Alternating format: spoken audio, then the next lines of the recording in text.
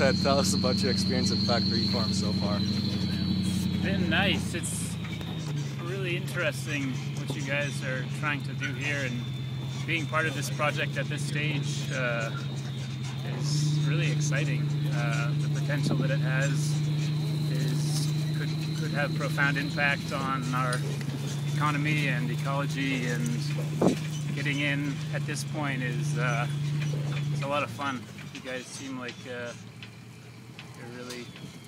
going Yeah. for something that's meaningful. Yeah, excellent. And so far we've gotten you on the CEB press. Now we've got some baling going on here. Our dry bales. Let's see what happens.